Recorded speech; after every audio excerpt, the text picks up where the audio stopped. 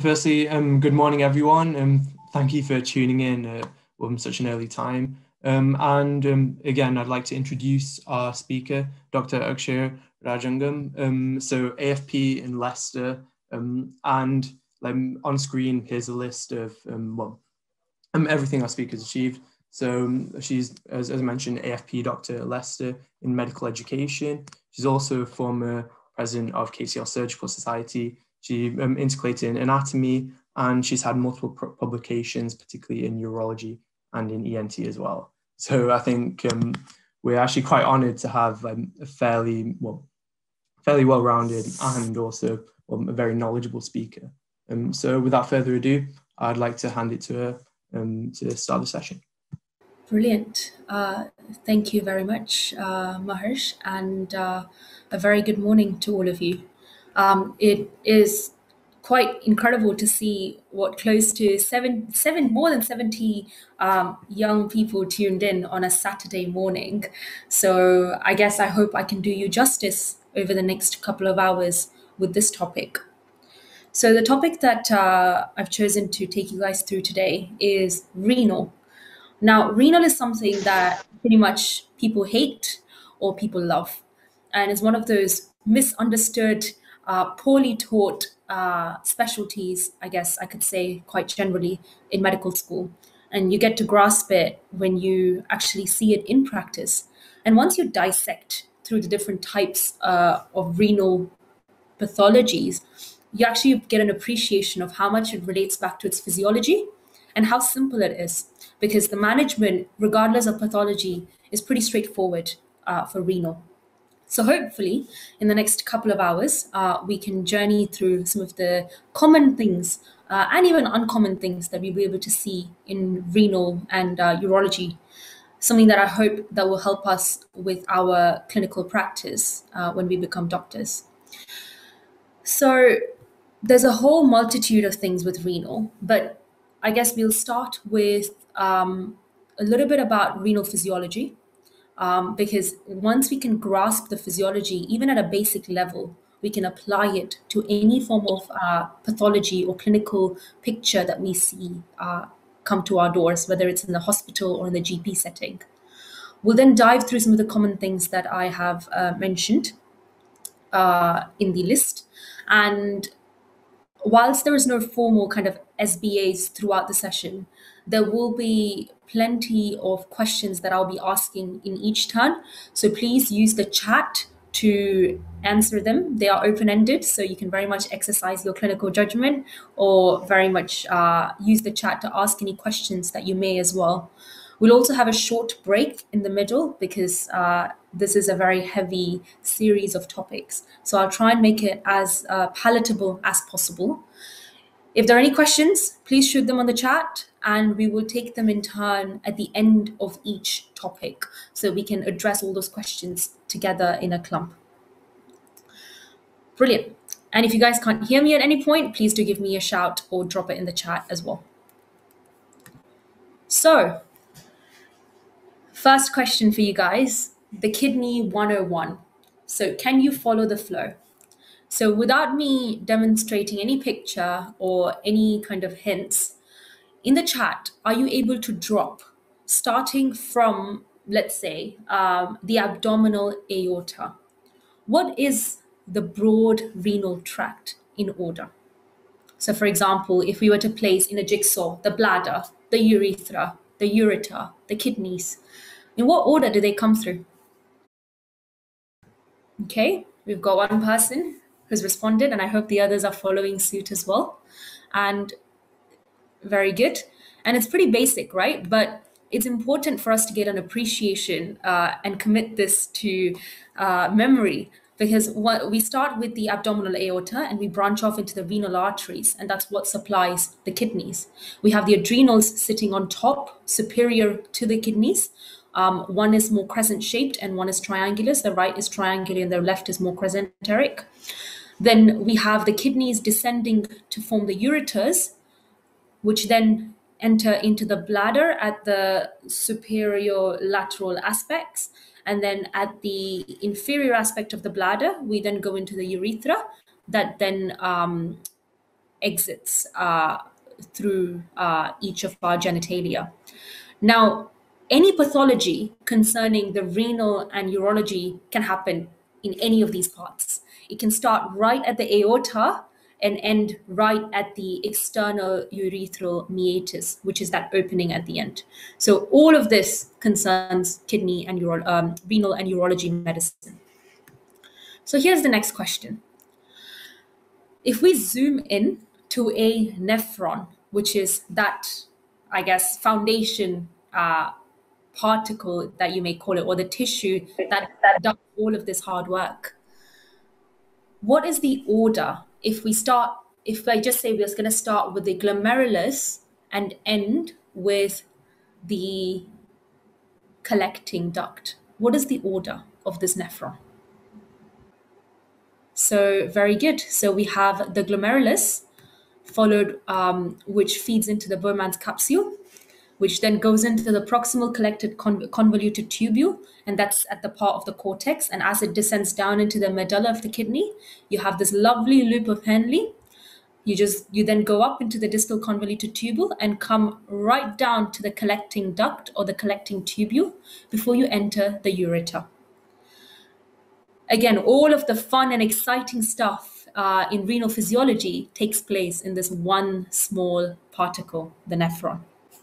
I was meant to animate this, but I guess it didn't work. So, very broadly, the functions of the kidneys can be broken down into this simple acronym a wet bed. So, kidneys are responsible for a multitude of things acid base balance, water balance, ensuring that uh, we have enough water or fluid in our system, electrolyte balance, uh, removal of toxins, controlling our blood pressure, forming erythropoietin, which very much plays an integral role in our red blood cell formation, and vitamin D metabolism, so that vitamin D can then be used um, in various parts of our body. So everything that then goes wrong with a kidney, uh, or if the kidney messes up, all of these things start to mess up. And you can ask Akshaya, why are you going into such detail with these basic things? Because these are some of the things that patients will present with, and patients don't come and say, I have a renal pathology. They come in with a whole host of symptoms. So for us to be able to piece the uh, piece the puzzle together, it's important for us to appreciate the functions of the kidney. So, what exactly is this filtration pipe that we looked at? So we have this nephron, and we go through the different, uh, you know, journey that starts in the glomerulus and ends off in the collecting duct. So I thought, let me just take a quiz, um, a quick whistle stop tour through this journey, because probably most of us would have studied it in first and second year. And from this poll, I can I can see most of us are actually clinical medicine.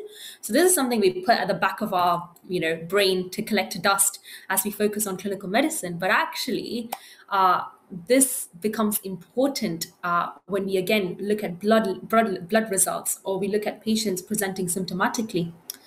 So very quickly, in this graphic, it's highlighted quite well, and I can't take credit for this uh, picture. But if we run through it very, very quickly, I'm going to see if I can. You guys should all be able to see my mouse as well. So if we start at the glomerulus, this is that highly high pressure filtration system that happens as it pushes against the Bowman's capsule. And you have the afferent and efferent arterioles, which are running through, and almost the blood is just getting circulated in high pressure. And ideally, nothing that is a large protein or red blood cells ought to come in uh, through this Bowman's capsule. You only get a little bit of glucose and amino acids, predominantly water, sodium, potassium, and bicarbonate, creatinine, and urea. And as we journey through that proximal convoluted tubule, that first stage, more than 65% uh, gets absorbed uh, reabsorbed. So all of our glucose and amino acids will get reabsorbed. So we shouldn't see anything in our urine. Um, 65% of our NaCl and water, along with potassium, will also get reabsorbed. And I think if we go back to our physiology, we can, you know, remember all the different pumps and uh, channels through which this takes place, which I'll not go through today. We then go down through this loop of uh, Henle, the descending and the ascending loop. Now, this is where again we reabsorb more of the sodium chloride and water, and this is where we really are able to concentrate the first step of urine. And then we go to the distal convoluted duct. And this is where aldosterone, uh, produced in the adrenal cortex, is able to, um, to come and reabsorb some of the water. So we're continuing to concentrate our urine. We then travel down the collecting duct where we have uh, antidiuretic hormone, ADH, uh, stimulated or secreted from the posterior pituitary gland. And that goes down the collecting duct, again, reabsorbing once more the NaCl and water and excreting a little bit out. So at the end of it, we should only have the ideal urine, which is urea, creatinine, a little bit of sodium chloride with potassium and bicarbonate in tiny trace amounts, and water. The ideal urine has a pH of about 4.5 to 8, and that's the normal range. And urine in an ideal world should not have any glucose, any protein, any nitrites, any ketones, or any blood. So this is a whistle stop tour through, through renal physiology. And if we can understand kind of the basics of what actually goes on in the kidneys and how all of this happens, we can easily navigate through um, pathology or clinical uh, symptoms that come through our doors. I'm just going to take a quick pause there and see if there's any questions coming through.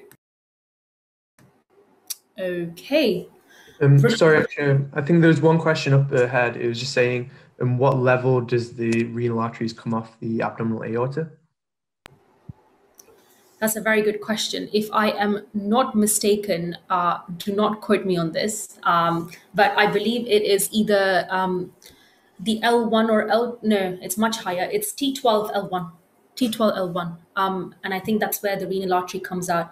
And the venous system is uh, also different on the left and the right hand side, where um, in the left side, it's uh, again one to look up because I have forgotten um, those basics of anatomy, but it's at the level of T12 and N-wall because the kidneys sit anatomically quite high up, actually, um, sit at the level of T10 uh, to T12, um, one higher than the other. On the on the right side, you have the liver, so you have to accommodate. Um, sorry, on the left side you have the liver, and on the right side you have the um, stomach. So you have to accommodate for those levels. So um, I believe one kidney sits above the other. And this is uh, me going back to first year anatomy. But I believe it's T12L1. But do don't quote me on this. And if someone finds the answer, do put it in the chat as well. I find that actually a lot of people get confused with electrolyte balance. And this is something that, uh, you know, very much comes through the pictures, uh, comes through the doors quite a bit. So I thought, let me start off by focusing on one particular electrolyte imbalance, hyponatremia, and see if we can navigate through that. Does anyone know what hyponatremia means? Feel free to drop in the chat. So hyponatremia is low sodium in the blood, and you can look at it into three categories. The first one is hypovolemic hyponatremia. So this is where we are losing volume, complete volume through our body, and we end up with low sodium. And this can happen uh, because of di- commonly because of diarrhea and vomiting, when we sweat a lot, um, certain endocrine disorders, and certain medications uh, such as diuretics, etc. Then we have the second part, which is euvolemic hyponatremia. This is where our, our body volume is preserved, but we are actually only losing sodium. So our entire water levels are still the same, but we're just losing sodium. Typically, when we have symptom uh, syndrome of inappropriate antidiuretic hormone production, uh, when we are absorbing too much water, we are diluting the sodium. Uh, so that's when we tend to have euvolemic hyponatremia. And then we can have hypervolemic hyponatremia. Now, this happens in three types of diseases or failures heart failure, kidney disease or kidney failure, and liver disease, where we are, you know, just absolutely taking in all the volume and it all goes into third space. So it's not, not actually in our vessels, but just starts leaking into our third space. So you'll see really puffy, swollen patients, and they have low serum sodium because they're just so full of um, volume uh, in the entire body. And then you have pseudo hyponatremia, where you look at the blood levels and you go, hang on a second, sodium is less than 135, but it actually is not less than 135. It's because they have so much protein and so much uh, triglycerides in their blood level that it automatically um, reduces the concentration of sodium. Sodium is measured in millimoles per liter, so it is measured in concentration levels, not in absolute levels. So you can have pseudo hyponatremia. So when a patient comes through uh, walking with low sodium in the blood, the first question to ask is Is it mild? Is it moderate? Or is it severe? You then ask Is it acute or is it chronic? Anything that is endocrine, anything that is of a, um, you know, anything that is messed up because of the endocrine system generally takes time. So it's unlikely to be acute if it's of an endocrine pathology. Now, with something like hyponatremia, most patients will actually be fine, and it will be the GP who picks up and goes, "Hang on a second, their sodium doesn't seem quite right," and send them to the, through to the hospital.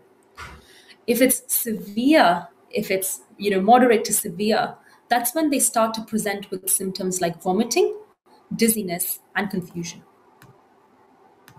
So, how do you investigate this? Right? You first start off by asking, what is their volume status? Because you want to be able to find out the cause of why do they have low sodium in their blood. So for you to be able to categorize is it hypovolemic euvolemic or hypervolemic you got to ask what is their volume status? And a simple blood pressure will point towards that. You also do a urine and serum osmolality and I'm going to be honest with you guys, this confused the heck out of me back in medical school. So we are going to run through what a urine and serum osmolality is as well. And then you ask yourself, okay, are they on any medications?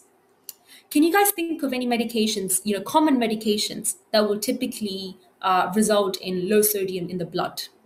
Well done. Uh, we have some smart cookies here um, diuretics absolutely. That's the first thing to think of. And you know what? In in in real life clinical practice so many of us forget to check the drug chart and we start treating patients uh, with hyponatremia. But then it's important to take a step back and go actually what is causing this? And as something as simple as crossing off a drug in a drug chart can really help their symptoms. And then you ask yourself what are the other symptoms Generally, it's some, something like an endocrine uh, pathology. You will have a whole host of other symptoms that contribute uh, to this picture, and you'll be able to delineate and work accordingly.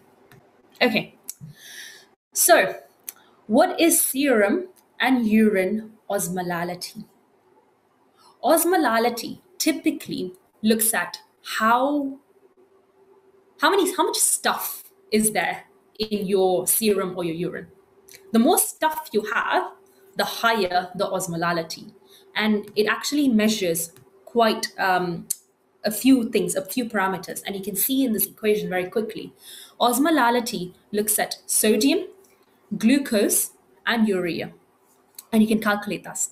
We will never calculate this in clinical practice, but it's good to be aware of what goes into this calculation.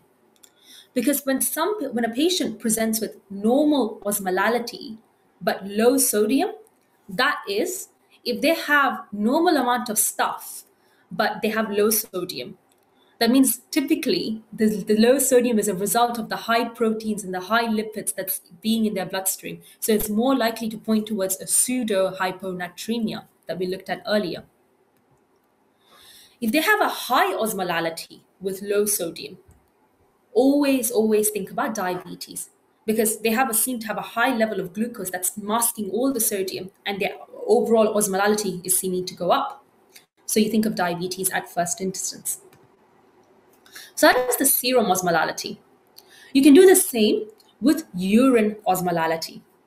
When there is low osmolality in the urine, that is if your urine has very little stuff in it. And we looked at what typically constitutes an ideal urine, right? If your urine typically has very little stuff, it means that your ADH is not working. You're just spewing out all the water because your antidiuretic hormone is not able to concentrate at the last stage in your nephron, in the collecting duct. So then you start thinking, okay, does this patient have some form of, you know, um, diabetes insipidus? or you know something that is uh, quite not right with their antidiuretic hormone. And as we looked at earlier, the ADH is produced in the posterior pituitary. So then you'd start to investigate the pituitary gland. Uh, and you would start to do all your uh, CT heads, MRI heads to uh, work through those.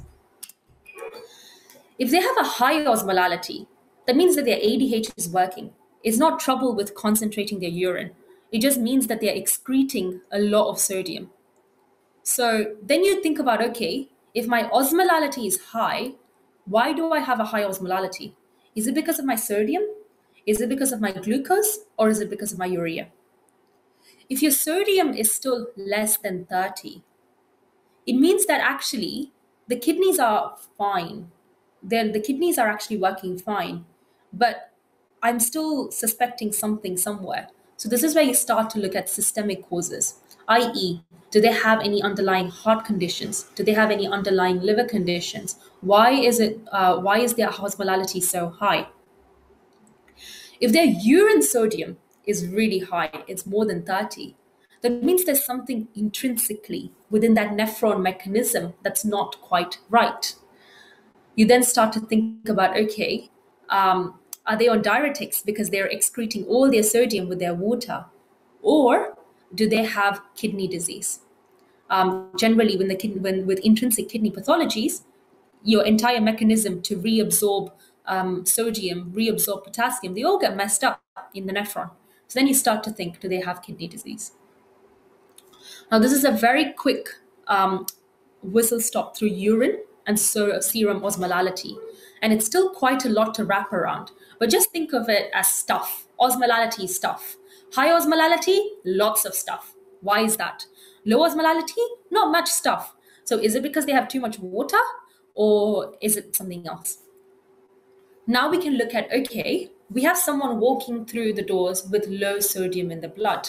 We have worked through all of our different kind of uh, categories. We've thought about okay, is it because of their volume status? Is it something that's come on suddenly, or is it something that's uh, taken a bit of time to come on? And how clinically unwell are they? And why is it that they're having low sodium in the blood? So we have done all those different investigations. And renal medicine is pretty simple, right? Once you find the cause, you treat the cause. So if you can't find the cause, you still manage them conservatively till you find the cause. That's as simple as renal medicine. So in this case, if they have low sodium, low serum sodium without any volume loss or volume gain, that means that their volume levels are fine. They're just lacking serum sodium. So you give them a high concentration of hypertonic saline. So this is fluids with a very high concentration of hypertonic saline. If they're hypervolemic, i.e., they have way too much volume in their body, and that's why they have hyponatremia, you start to fluid restrict. So, in a clinical practice, you'll start to see uh, doctors saying, put them on a fluid balance chart, and you really monitor how much they're taking in, how much they're taking out, and keeping it very strict. Typically, it's at a 1.5 liter restriction parameter. If they're hypovolemic, so they don't have enough sodium in the blood because they don't have enough water in their blood, then you pump them with 0.9% normal saline. If they have SIMTR, a syndrome of inappropriate antidiuretic hormone, you give them a vasopressor. So you can tell actually it's their ADH that's not quite working. That's why they're losing all their sodium with the water. So I'm going to correct that instead. So it's pretty straightforward in terms of managing hyponatremia in a clinical setting. Now that's the first topic done. Does anyone have any, does anyone have any questions? I'll pause for 30 seconds there um, so we can have any questions. Okay, I've had a couple of questions so far. So the first question is, um, which hypertonic saline do you use? Now, typically you can go for like 1.2, 1.25% um, NaCl, but that will also depend on the trust guidelines. So generally with fluids, um, each trust will adopt its own policy, but it's anything beyond 0.9% saline because 0.9% is normal saline. So you'll go for a 1.25% or higher, depending on your trust guideline. Now, how would you know ADH is the problem? Would you have to do a water deprivation test? Absolutely.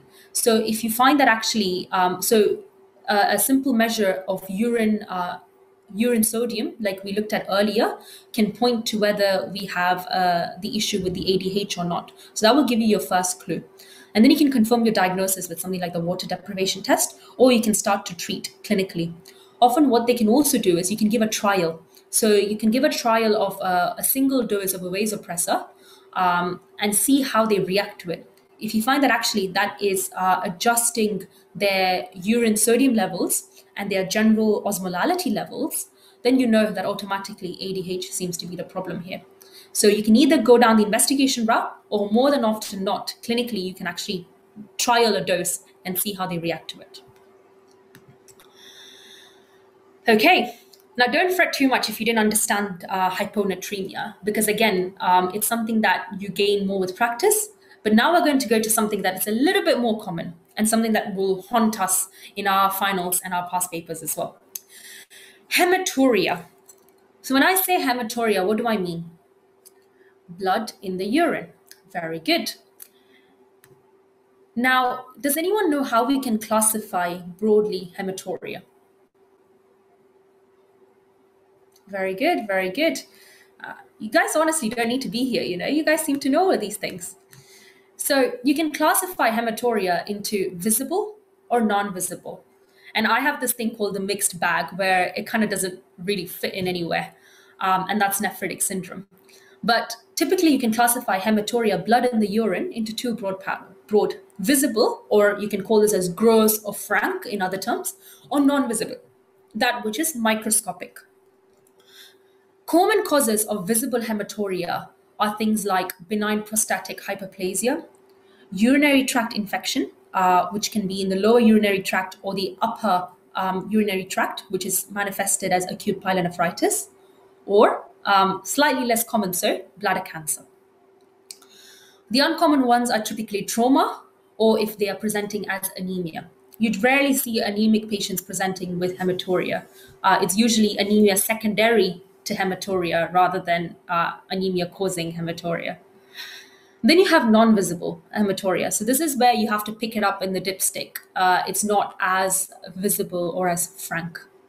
And typically, some some types of uh, UTIs, menstruation, stones can present as non-visible hematuria. And uncommon, again, you have renal cysts or some form of cancers, which, which can present as microscopic hematuria common things are common, and the way we go about hematurias are pretty similar, even though there are different classifications here.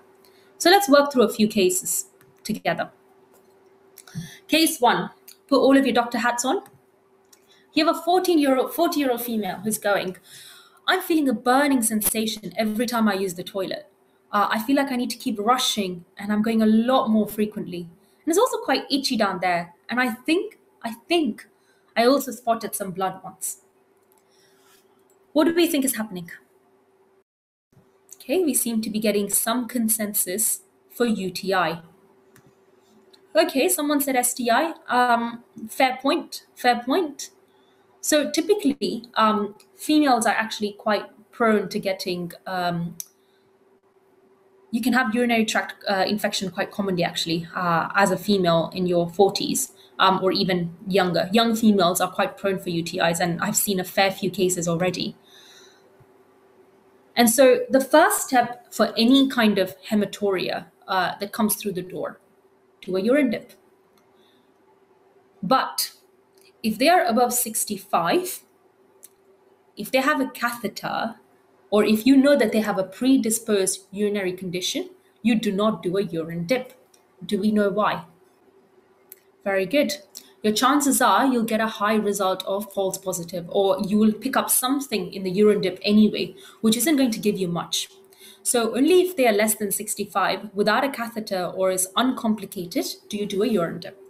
And I'm sure in our first and second year OSCEs, we would have been we would have done plenty of urine dips. So I'm not going to go through a urine dip.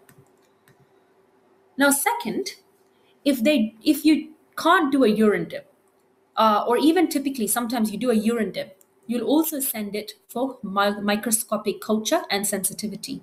So you ask them to pee in a pot, a midstream urine, sample and you send it to the labs.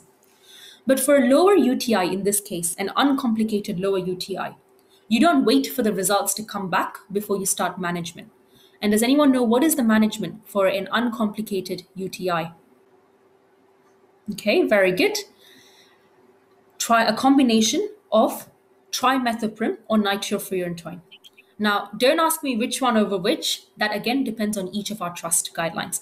In our trust, in Northampton General, we opt for nitrofurantoin more than trimeth actually, and it's a three-day uh, course of antibiotics that we give. And if that if that fails, then we swap for the other.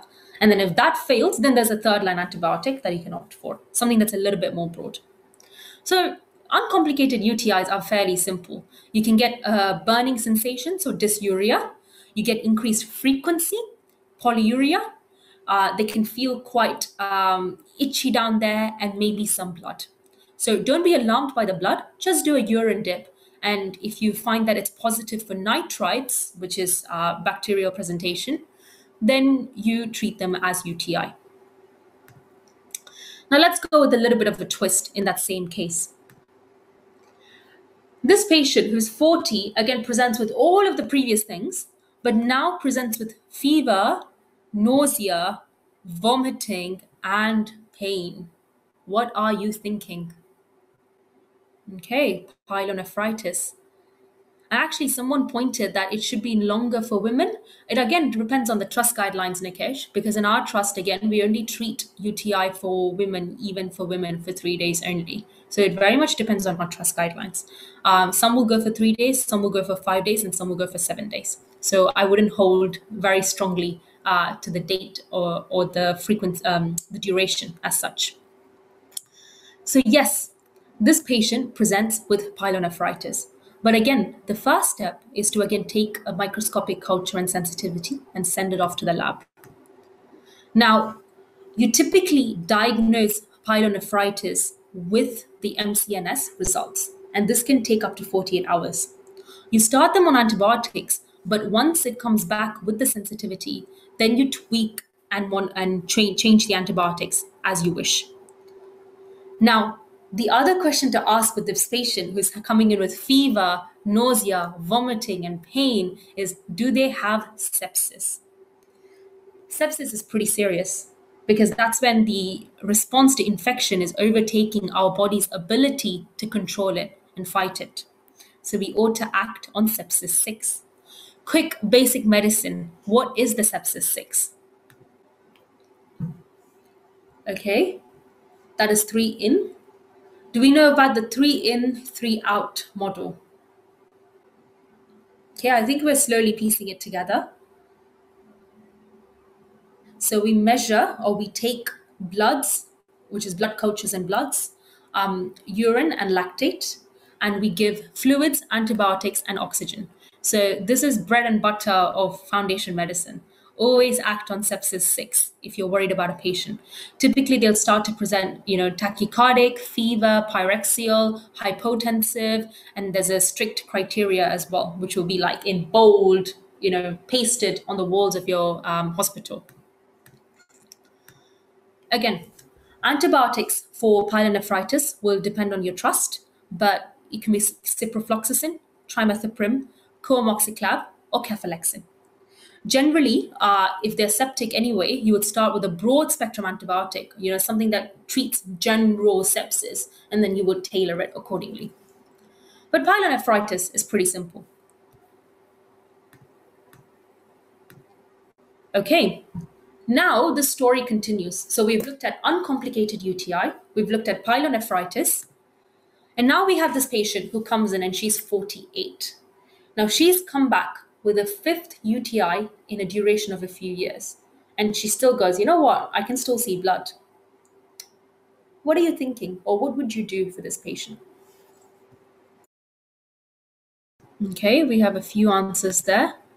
Some are saying obstruction, urological investigations, that's quite broad. Consider a two week. Okay, interesting. Now,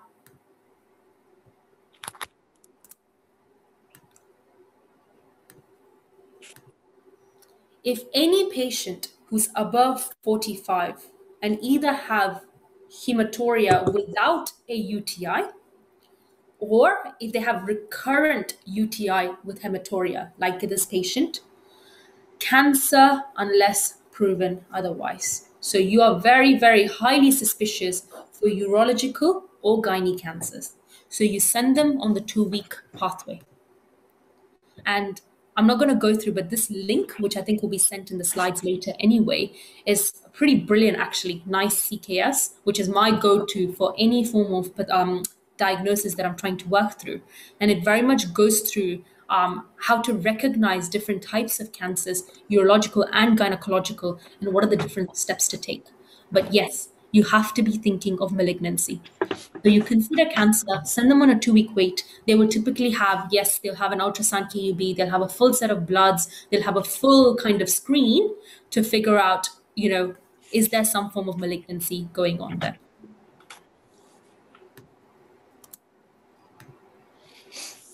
Now, same symptoms, different gender.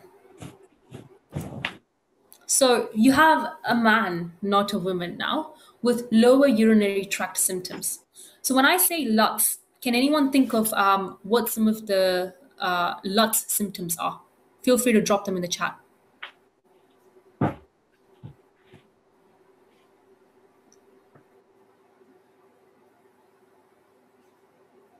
Okay, we've got uh, we've got some symptoms. Very good, very good.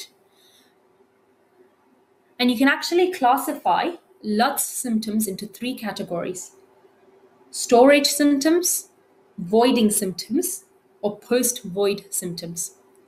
So, storage symptoms are anything where, you know, something's up with their bladder. So, this is where they have increased frequency, increased urgency, incontinence, and nocturia, so having to pee at night.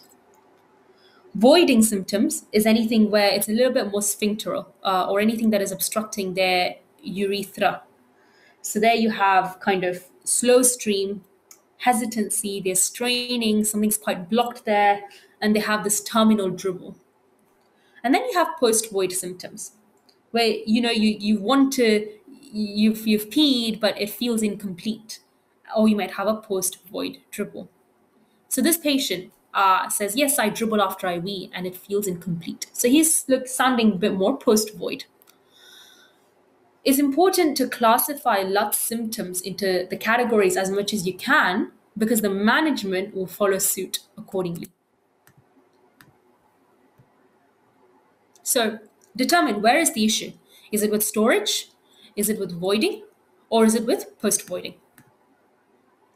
And you will actually be guided by your history and examination here. Now, the first thing, and a lot of you guys pointed to the prostate. So the first thing you always ask yourself is these are the few questions to ask yourself. How's the prostate doing? How's the bladder doing? Um, are there any external genital abnormalities that I can see? And how is their general neurological function?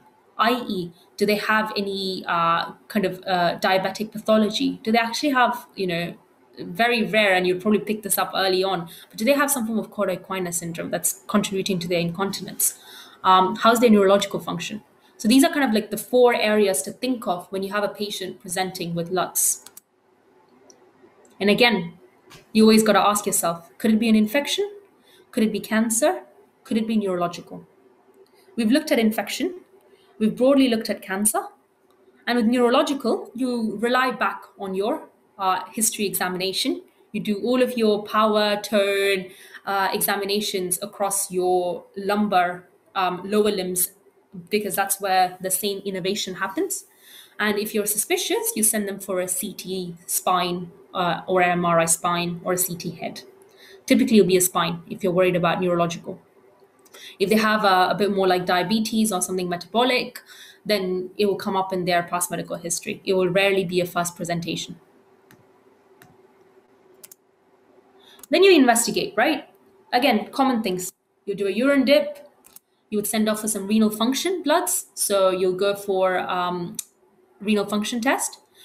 You would have examined the prostate by now as part of examination. So you'd have done your PR exam. And if you find that your prostate is enlarged or irregular, you would go for a PSA test. But again, you always typically would like to warn the patient for its specificity and sensitivity. In what cases might you have an abnormally raised PSA um, that actually is not uh, true to a prostate pathology? So, i.e., a false positive PSA or a falsely high PSA. Okay, very good. I'm seeing some of the answers come through. There's a whole list.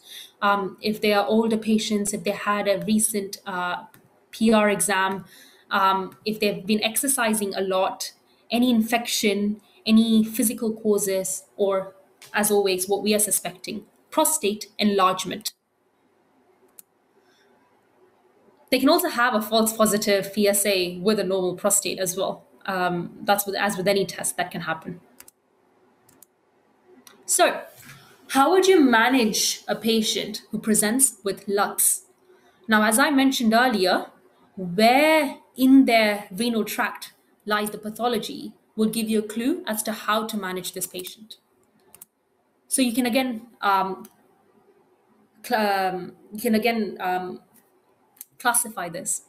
So if this is something uh, to do with the voiding, i.e., something a bit more sphincteral, the sphincter is not working, or the prostate is enlarged, so it's not um, allowing for the passage of urine properly, these are the things that you can throw in at them. Conservative management, we always start with conservative.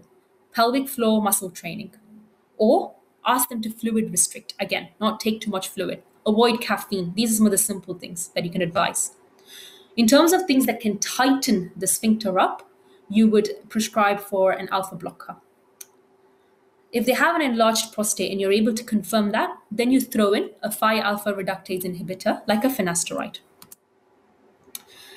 If you're worried about an overactive bladder, again, conservatively, you go for a bladder training. So, you know, you can refer them to the continence, incontinence clinic or the continence clinic. They can have a bladder diary and they'll um, go through the bladder training program. Medically, you prescribe an anticholinergic, so an oxybutynin or toldagrelin. If they don't tolerate either of these, you go for a mirabegron more invasive so again this is a bit more you know second line or third line you then opt for a botox uh, botulinum toxin injection or a sacral nerve stimulation. If they're retaining um, urine i.e you know it's all sitting in their bladder you catheterize. The threshold is around 350 mils. You don't wait to figure out what is causing it you catheterize straight away. I have been called so many times in my nights with patients retaining urine of about a liter in their bladder. And that's a lot of volume to sit in a bladder. So that has its own complications and it's not a situation you want to be in. So just catheterize and then deal with it later. You can deal with the cause later and then you can trial them without a catheter later. But always, always catheterize if they are retaining. Now, here's a quick question for you guys, um, only because I have seen this uh, just twice actually in the last week that I had patients you have patient with um, with voiding symptoms and uh, he's got BPH. So you prescribe him a finasteride and you also throw in a tamsulosin, uh, which is an alpha blocker. Now, this patient uh, suddenly has a few days into admission uh, standing blood pressure of 60, 60 over 37. What do you think is going on? Okay. So, what's the first thing that you do if uh,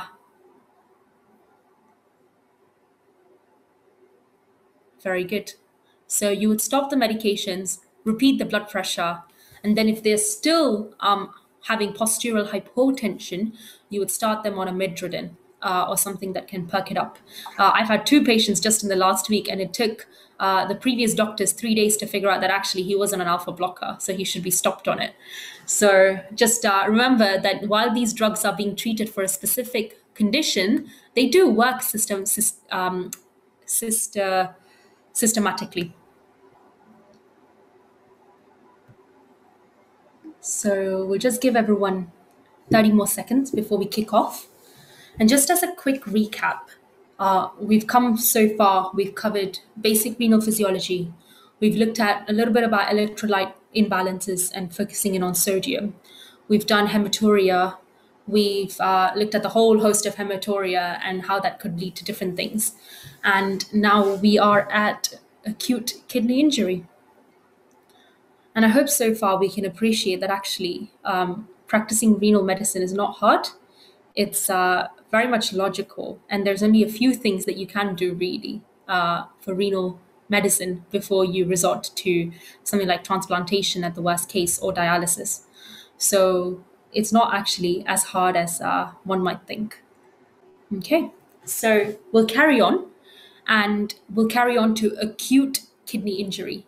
Now, again, this is probably something that we will see a lot in hospital inpatients. Um, and I can say quite uh, with confidence in any specialty that you're at, you will see patients with acute kidney injury. I had a patient who was uh, post uncomplicated, normal routine appendicectomy. She was meant to be discharged actually.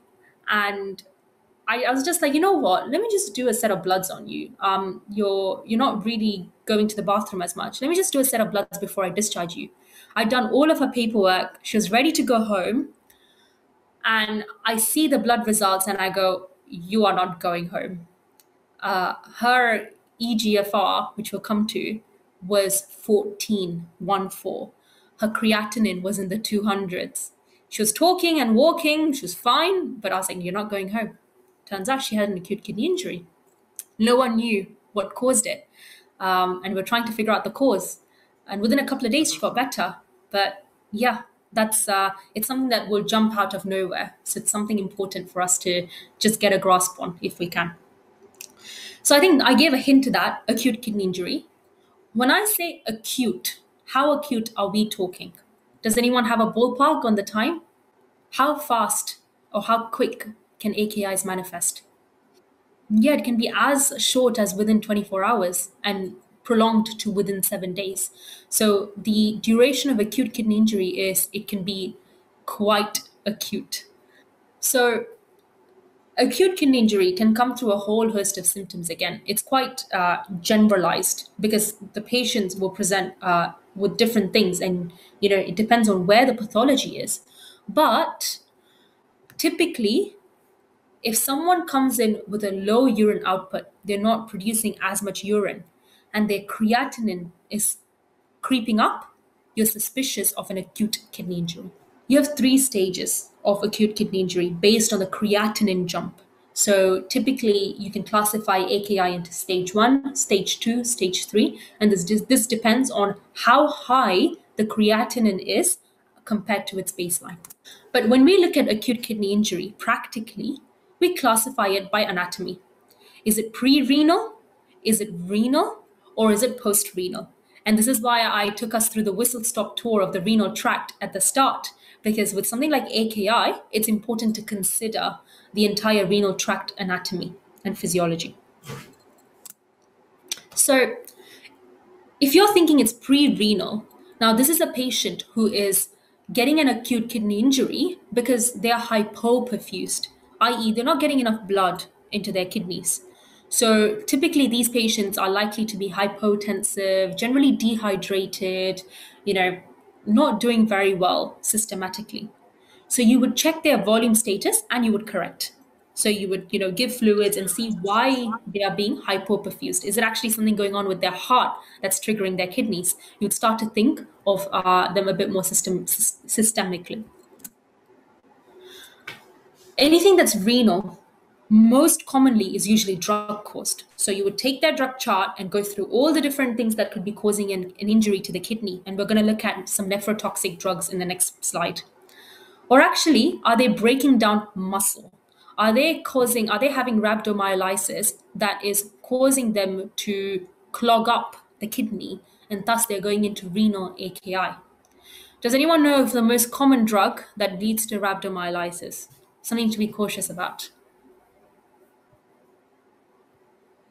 Very good. Statins, absolutely. So typically in an inpatient setting, if a patient has an AKI, we stop the statins uh, at least for 48 hours and then we review. Then we think about post-renal. Are they obstructed? So is their prostate so enlarged that it's sending uh, a back passage through to their kidneys and damaging their kidneys, or is there a stone somewhere? Now, whilst the symptoms of AKI and the classification of it can seem complicated, management of AKI is dead easy. All you got to do is fluid resuscitate and monitor. You literally pump them with 0.9% saline and you monitor. Um, every day you take their renal function test, you check how their EGFR is going, how their creatinine is going, and you alert the renal team in the hospital sooner rather than later. We got told off by the surgical as, as the surgical team for waiting for three days before we alerted a patient of AKI to the renal teams. So do let the renal team in the hospital know. And again, with something like AKI, it's very much symptomatic um, management quickly, caution, putting caution to their overall clinical status and their drug status, and making sure that they don't go into AKI again or going into the chronic side. So generally, on discharge paperwork, this is just uh, uh, you know extra learning for you guys. In a discharge paperwork, at least in my trust, they always ask, "Did your patient have an AKI during admission?" And we got to put tick yes or no. And typically, we'll then stop the drugs, tweak the drugs, and you know we answer whether the AKI was resolved on admission. Any patient who has an AKI on admission automatically within a week they will have to repeat their bloods at the GP. And there's a whole host of regimen. So they'll have um, weekly blood tests for a month, and then they'll have month, three monthly blood tests, and then six monthly blood tests. So it's actually quite monitored, well monitored in the community setting, even post discharge, because you don't want to want them to go down the chronic kidney disease path. That's why you monitor them quite closely. Now we talked about nephrotoxic drugs, right?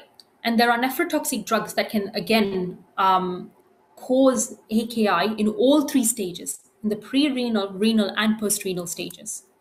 So, in the pre renal, typically we worry about NSAIDs, uh, any form of ibuprofen, diclofenac, etc. Stop it. And ACE inhibitors. Now, ACE inhibitors is a tricky one so generally you would stop ACE inhibitors in an AKI setting, but it actually helps in a chronic kidney disease setting. And we'll see why when we come to the chronic kidney disease slides. We, we are cautious about ACE inhibitors because especially with patients who have bilateral renal artery stenosis, i.e. their renal arteries are so closed off, if you give them an ACE inhibitor, you're going to constrict it even more. So you're going to lead to hypoperfusion. So in an acute setting, we stop it anyway and we restart it at discharge. With renal, you can have um, drugs that affect either um, the tubules, it affects the interstitium, which is the space between the nephron and the, um, which is the space between the nephrons, or the actual glomerulus itself. So that's what glomerulonephritis is. So you have all these whole host of drugs that can affect. Now, I'm not going to go through the mechanism and stuff because, frankly speaking, you don't need to know about it. But if you're aware that some of these drugs can cause uh, some of your AKI, you can then automatically rule it off. So, the trend wise, if you can see the trends, typically um, antibiotics, uh, any form of uh, metal based drugs like penicillamine, uh, gold, um, anything that's a bit of a dirty drug, um, anything that's uh, you know, something that's not common, diuretics. So these are drugs that you ought to be cautious about. So in a, pra- in a clinical practice, I would just literally go through all the different drugs that a patient's on, go to the BNF and look at the renal impairment section or the renal, the caution for renal um, segment and read through and cancel um, because it's more than likely they don't need it in the acute setting.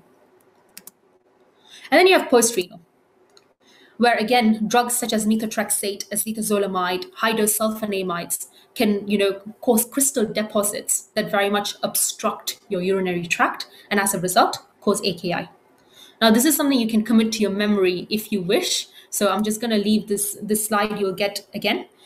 Um, but again, uh, anticholinergics and alcohol can also cause urinary tract obstruction um, and can cause retention of urine in the bladder.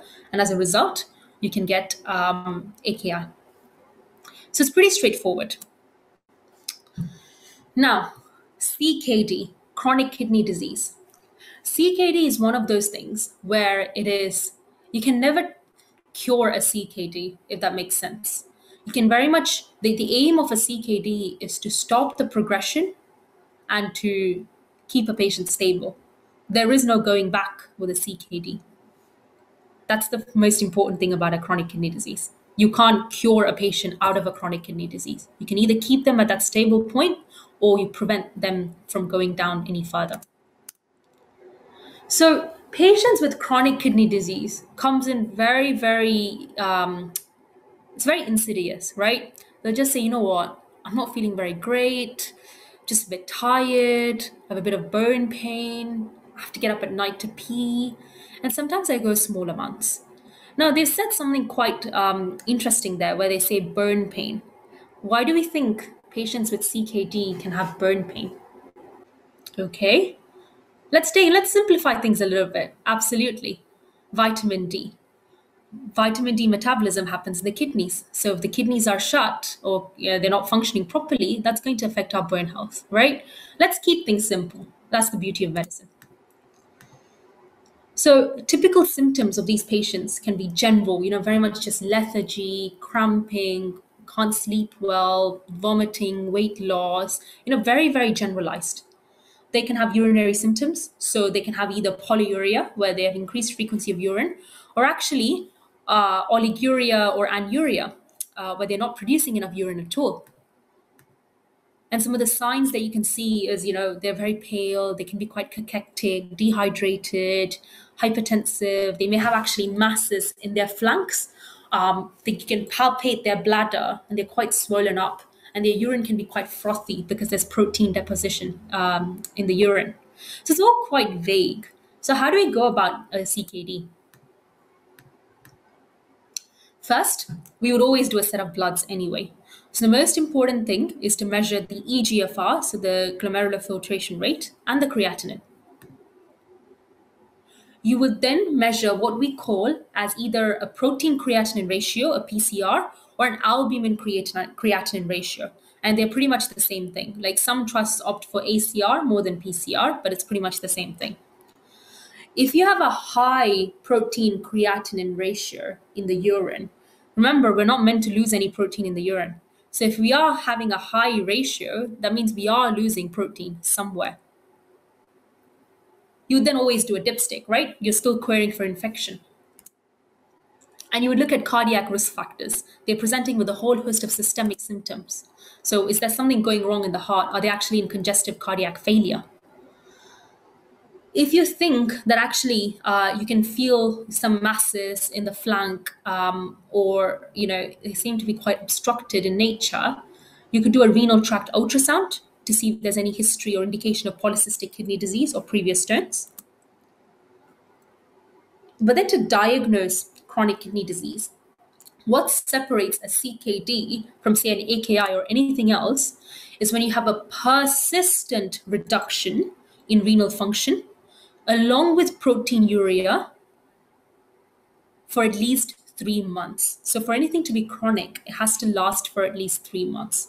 So your EGFR is not doing so well, and or you're having protein deposition in the urine.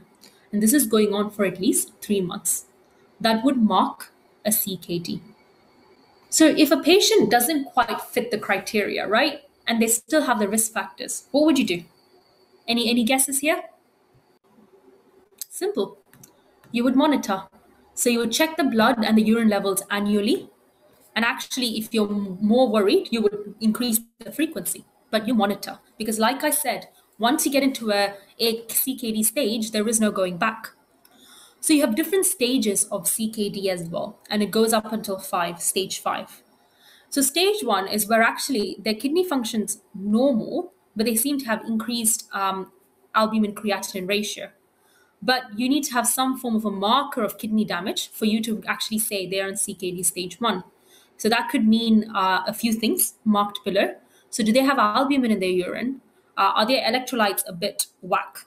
Or do they have any urine sediments, you know, any uh, complement deposits or etc. that is picked up in the urine?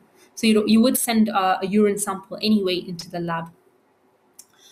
Then you go for stage two, um, and, and as you can see, it's more dependent on the EGFR than the creatinine. Where in AKI, you're more concerned about the creatinine, in CKD, you're more concerned about the EGFR. And the fall in EGFR goes down to their, um, as you go down the stages of CKD, the EGFR goes down further and further and further. So you figured out, okay, you know what? This patient is in CKD. Now what? First, figure out the cause. Why are they going into CKD? How fast are they going into CKD? Um, and how fast are they progressing? And how can I treat the cause? And remember, always watch for the FBC. Um, remember, um, if we're not producing enough erythropoietin, like we looked at in the function of kidneys, uh, chronic kidney disease can predispose us to have normocytic anemia. Um, so always watch for the hemoglobin and the full blood count levels. Watch for your different uh, vitamin D and the vitamin D uh, agents, parathyroid hormone, calcium, and phosphate. And don't forget about cancer. So if they are presenting with a persistent UTI or hematuria, do not forget about cancer. So these are some of the few things to remember with a patient whom you're worried about could be a CKD. Whatever that you see symptomatically with a CKD, you correct. So with something like a CKD, you can't reverse the CKD, right? So all you can do is figure out why are they going into CKD? Is it something to do with their another condition? Is it something to do with their medications? Is it something a bit more systemic? You then treat the cause as per those, you then treat the cause and then make sure that the kidneys are stable. So you would correct anemia. If there's any metabolic disturbances, you would correct the metabolic disturbances. And you try not to get them to the end stage renal disease. So if they are at an end stage renal disease, they may need renal replacement therapy, dialysis, or transplant the number of patients that I can uh, that I have currently in uh, my COVID ward is almost every one of them in the Jerry section have CKD. So I have to remember actually the CKD is there, but can I prevent the CKD turning into an AKI? At least three of my patients have presented with acute kidney injury on a background of CKD. So I can only support the CKD symptomatically, but how is their anemia? How is their uh, electrolytes? How is their calcium phosphate, vitamin D levels? Those are the things that I ought to watch for. If they have hypertension, lisinopril or any form of ACE inhibitors is your best shot. But again, here's a caution do not give two drugs that affect the renin, angiotensin, aldosterone system. Why do we not give a double drug in a patient who's hypertensive with a CKD? What do we what do we not what do we not want to send them into? Very good. We do not want to send them into a pre-renal AKI. With all patients with a CKD, again, give them a statin because if their kidneys are not working properly, chances are that it's going to, you know, clog up their heart chances are that it's going to have an effect on their heart and other systems. So you give a statin for all patients with CKD to, you know, you look at that patient as a whole. And again, what's the one caution with statins that we talked about earlier? Just to check that you guys are listening, rhabdomyolysis. Very good. Because that again throws them into AKI. So you see how there's a lovely cycle here. You want to prevent, you want to maintain their CKD, but you don't want them going into AKI. And some of the very things that you're doing to treat a CKD, if you're not careful, can throw them into an AKI. So that's AKI and CKD. In terms of management, genuinely both are very simple in terms of managing. So it's not the management that's hard. It's just very much getting to the understanding of aki and ckd that throws people off. But i hope we're able to gain a slightly better understanding of aki and ckd now. So couple of um, i guess final topics. And um, i won't spend too much time because these topics i find are quite they're quite bitty, but you don't really see them as much in clinical practice. So, whilst they're great for exam purposes, they're also pretty straightforward. So, The first one is protein in the urine. One of the big things that we get to learn about protein in the urine is what we call as nephrotic syndrome. And it is that golden triad. You have proteinuria, so protein in the urine. You have hypoalbuminemia. So it's not albuminuria, it's albuminemia. So low albumin in the blood. And you have edema. Makes sense, right? You're putting, you're, you're gushing out all your protein. Uh, you are having reduced protein in your blood. And because you have reduced protein in your blood, you're automatically attracting water into the vessel because of the osmotic gradient. So you, you become blown up. So it's pretty straightforward. Now, with anything where you're worried about a nephrotic syndrome, always ask yourself are they kids or are they adults? In kids, the 80% chance of any kid presenting with a nephrotic syndrome like picture is very much minimal change disease. So, some form of damage to the glomerulus. Typically, you treat them with steroids. Any form of kind of um, glomerular, glomerular, nephritis that you're suspecting, you treat them with steroids um, the treatment is the same regardless of all your different classifications. You treat them on steroids and see how responsive they are. With adults, you ask yourself is it primary or is it secondary? So, is it primarily uh, a problem in the kidneys or is it due to something else? The most common cause of um, nephrotic syndrome in adults, the primary, is focal segmental glomerulosclerosis. Now, these are all some big words, right? What do they actually mean? I'll be honest with you guys, I didn't quite understand this in medical school. So I thought, let me take this opportunity to debunk some of the terminology so that we're not confusing our heads with all the different terms. Glomerulonephritis is an umbrella term. It's an umbrella term for anything that where you have an inflammation of the glomerulus and the nephron around it. Glomerulonephritis. Interstitial nephritis is where you have inflammation between the tubules. So we saw that nephron with the tubular system, any kind of inflammation that happens around it is interstitial nephritis. Glomerulosclerosis, now, this is not a diagnosis, this is just a pathological finding. And this is where this, the, the, the tissue of the glomerulus is very much scarred, so it's not quite um, as robust. And it's something that you see in a histology rather than something you would diagnose and say they've got glomerulosclerosis.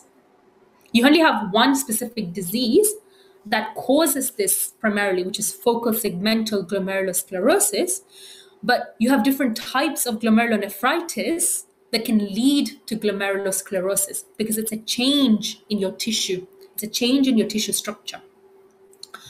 I hope this makes sense so far. It's a lot to take in.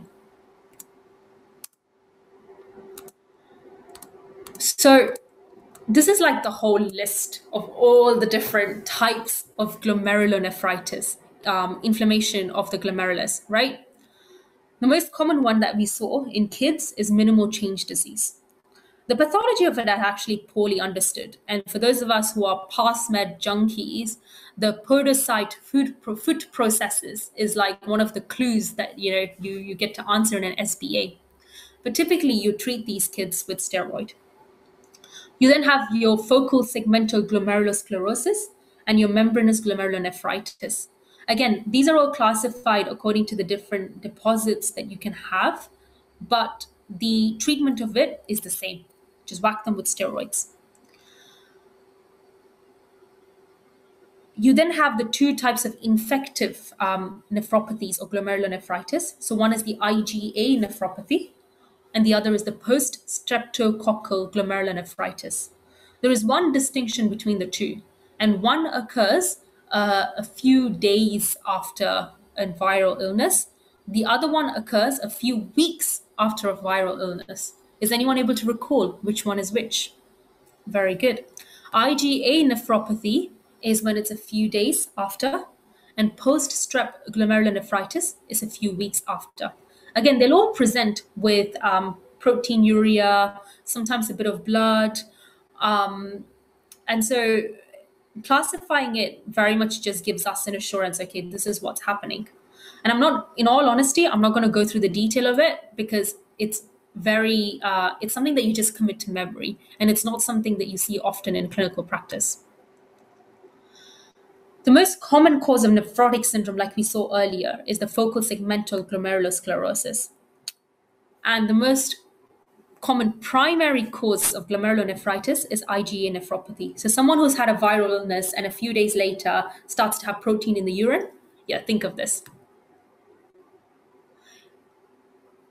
You have two peaks with a membranous glomerulonephritis, one in a young age, so in the 20s, and the other in the 60s. And like we said, post-streptococcal glomerulonephritis can be three weeks following a viral illness, and that's presenting more with hematuria-like. So I know there's a lot of distinction, there's a lot of questions between um, nephritic syndrome and nephrotic syndrome. So there's a diagram that is uh, in the next slide. But genuinely, whilst there's so many terminologies here, it does get easier. By management principle, fluid restrict, get any excess fluid out because they are fully edematous, give steroids, and control the blood pressure. If you can remember this one line, that one line will help you through any of the nephrotic and nephritic syndromes. Fluid restrict, get the excess fluid out, give them steroids, and control the blood pressure. It is as simple. And that's the same rule for all of these. Okay. Now, you can ask, hold on, we started with nephrotic syndrome and then we took a whole whirlwind through glomerulonephritis. So, where does nephritic syndrome fit into all of this? So, nephrotic syndrome is very much uh, you know any damage that happens in that barrier between the glomerulus and the basement membrane so that's why you get protein leaking through into the nephron. And that's why you get proteinuria you get hypoalbuminemia and you get edema.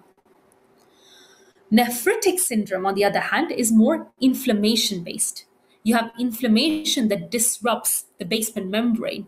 So you have, you know, a whole host of inflammatory processes that happen that often trigger blood going into the urine. And that's why you have hematuria.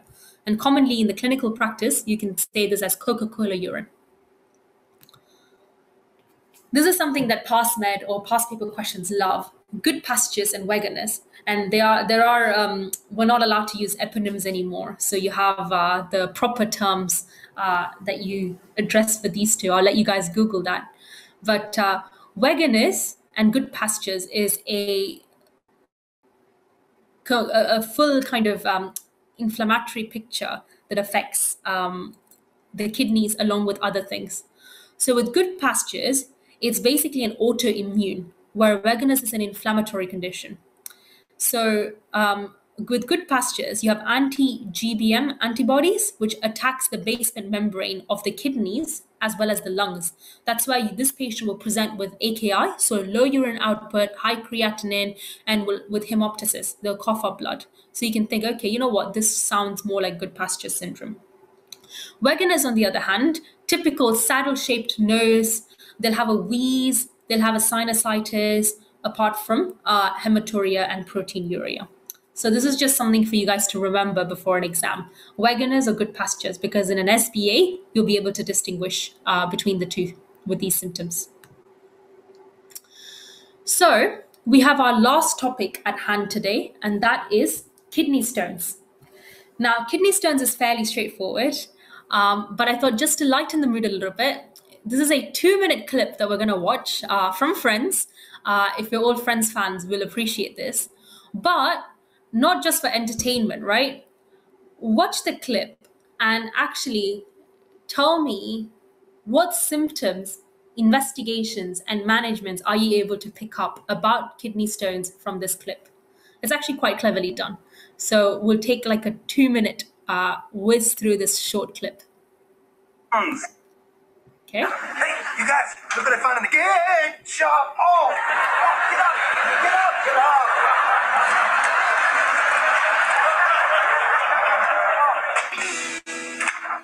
Mr. Tribbiani, I'm afraid you've got kidney stones. Uh, well, what else could it be? It's kidney stones. or kidney stones.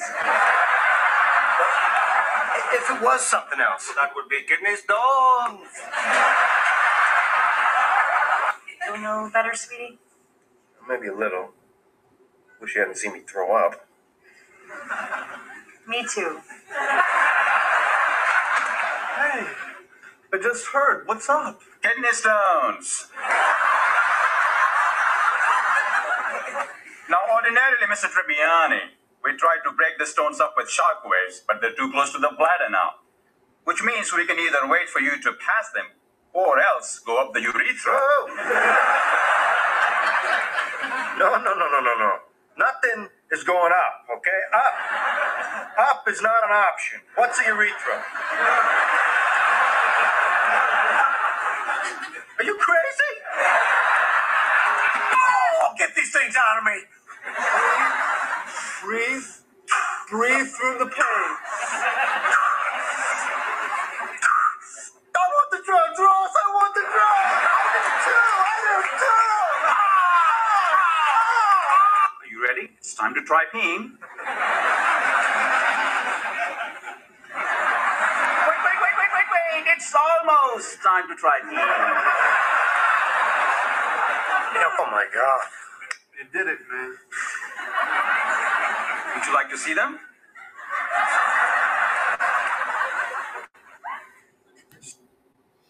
Okay, I hope that was a little bit of entertainment for us. But in all that laughter, can we pick out? Um, so they mentioned a few things, right? So, what are the acute symptoms of kidney stones that we can think of? Okay, intense colicky flank pain, dysuria.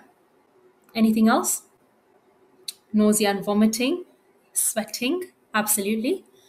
And sometimes, if it's a little bit more, you know, severe, or if they've thrown themselves into some form of pyelonephritis, you can also get a fever. Um, absolutely. So, what about um, what about the investigations for an a- uh, for a kidney stone? How would you typically investigate renal calculi? And they mentioned in that clip something about um, shock waves, sending uh, shock waves to to break up the stones. Do we know what is uh, the name of, of that uh, management? Okay, brilliant. So some of you've got it. So let's just run through a whistle stop tour of kidney stones. So small. Oops. So, sudden onset colicky loin to groin pain. Essentially, our ureters are trying to palpate. Um, they- they're trying to, it's the peristaltic movement, and that's why you get that colicky pain. It's always important, right? We always suddenly think, oh, that could be kidney stones. But it's always important to rule out um, in a younger patient appendicitis and in an older patient diverticulitis um, in, in a presentation of renal calculi. You also want to rule out any infection or any obstruction due to the stone. So, again, with an obstruction, you do a quick bladder scan to check if they are retaining any urine. For an infection, you rule out, um, you do a simple urine dip, see if they are febrile, start them on antibiotics, take a culture. So, those basic principles still apply.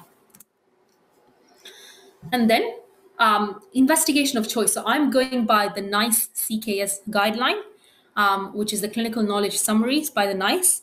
And the investigation of choice, as put out by NICE CKS, is actually a non contrast CT first.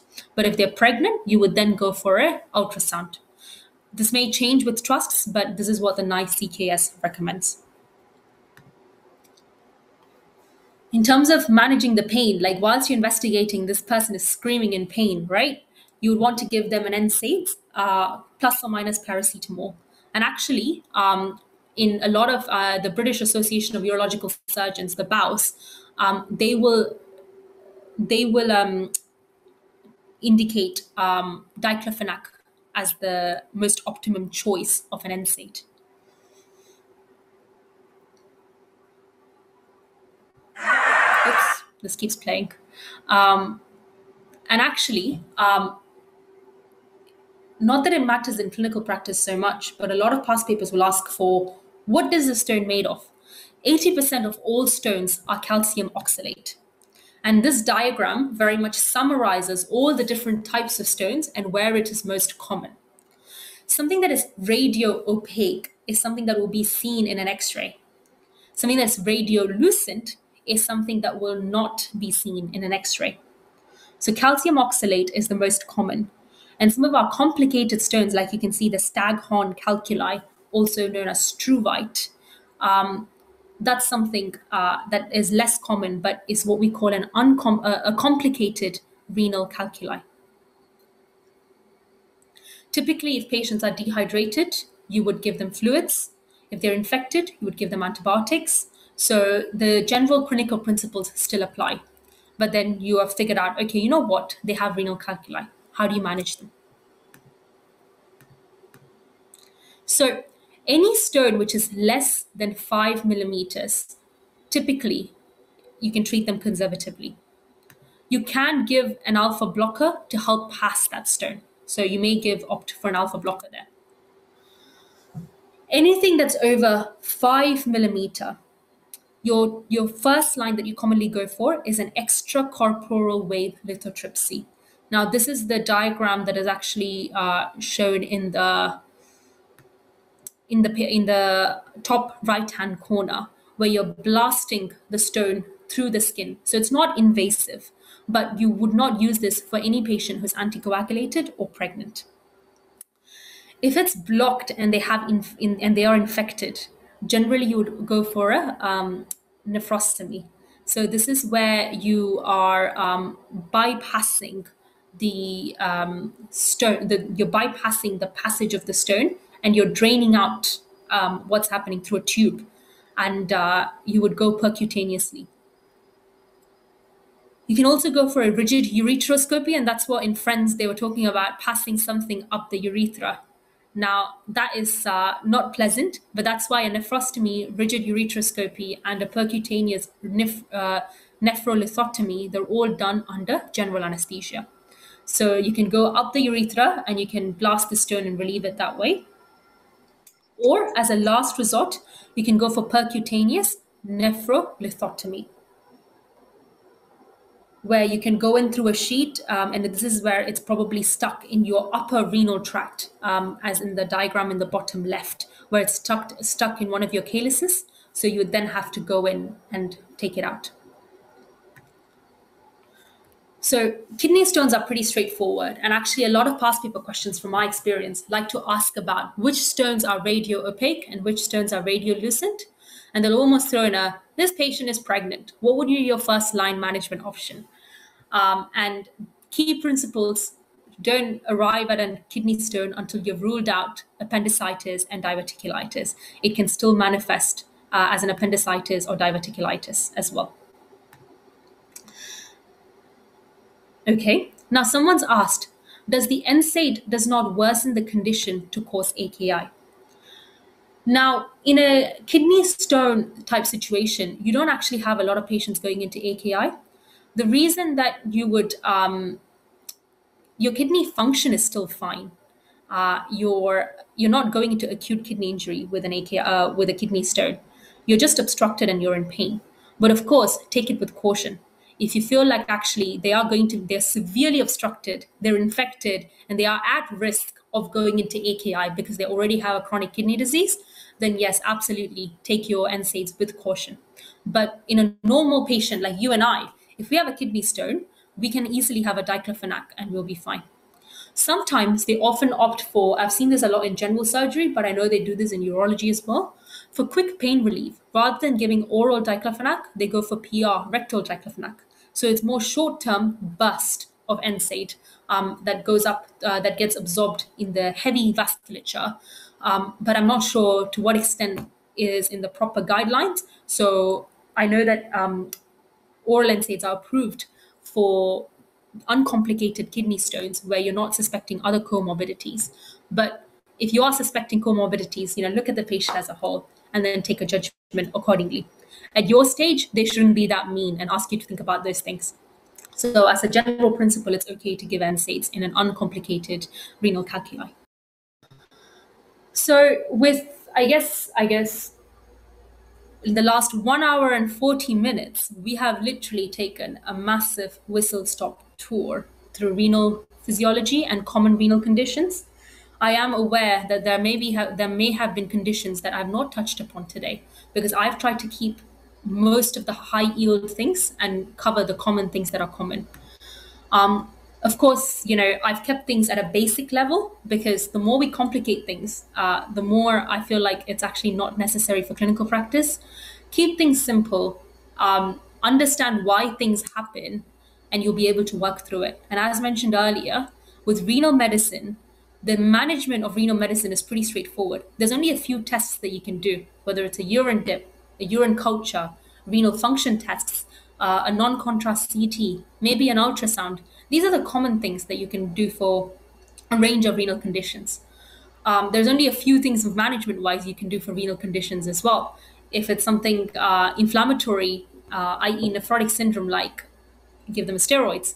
If it's uh, something like AKI, CKD, they're dehydrated, hyponatremic, give them uh, supportive uh, IV fluids and monitor, resuscitate. If there's infection, you give them antibiotics. If you're suspecting a malignancy, go to the two week pathway and then take out, go down the investigations for the two week pathway of cancer. So it's pretty straightforward in that sense. There's not many things you can do. And most of the things with renal medicine that we can appreciate is you'll get a lot of things coming through your doors, regardless of the specialty that you're at, that affects the kidneys, because they are ultimately our filtration mechanism, right? If our filtration system is shot, it affects the rest of our body because we're not able to get things out. So, if we adopt by those principles, we can easily navigate through the different renal pathologies that come our way. So, my top tips are that I recommend for all of you, and I can appreciate that even I'm learning again. Uh, you get to forget a lot of these intricacies and details when you start practicing day to day medicine. So, I've learned a few things from you guys today as well. But just work through things methodically, right? The exam questions are not there to trip you up and people like to you know read the most you know uncommon eponymous conditions that someone discovered but really that's not what the exam questions are there for they're there to test are you a safe doctor and can you navigate through the basic clinical conditions and actually understand the basics if you can work through basic renal physiology and can go through everything that we've covered today and really logically put yourself through that journey renal's not hard and try to understand the why. Um, for some things, yes, you may have to memorize it, commit to memories, like some of the drugs and stuff. But you have, if you have the time, just take the time to understand why it happens and how it affects, because you can logically work through a lot of things as well. And practice. Uh, this is where some of the past people questions like uh, PasTest and BMJ can come in handier. I recommend these if you've done PassMed already, because PassMed sometimes likes to ask for the weird and wonderful things. But PasTest and BMJ questions actually go through things a bit more logically. So if you have the time and the money, uh, you can invest in some of these online question portals. And don't fret if you don't understand this today. That's okay. Um, renal is not a common thing that gets asked, you know, across, uh, say, in an exam paper. You, most of the questions will not be renal, but a lot of the learning also comes with a job. I've learned a lot of things uh, I've picked up in my first couple of jobs. So most of the learning comes there. So don't fret if you don't understand it at this stage. And the message that I wish to leave all of you with is don't study to pass the test at the end of the day. Um, study to prepare for the day where you're the only thing between a patient and grave. And especially during these COVID times, uh, you guys will be in situations uh, when you become a doctor where you're actually asked to manage patients independently. You're at the full trust of the consultant. So, really, really think about what you're doing for your patient and remember to look at the patient as a whole. Um, remember to look at their drug charts, remember to look at their past medical history, and remember to look at them. Um, they give us a lot more clues than what we can ask for. So, I hope this was useful and do drop in your feedback and thoughts. And yeah, good luck to all of you who are in different stages of your medical journey.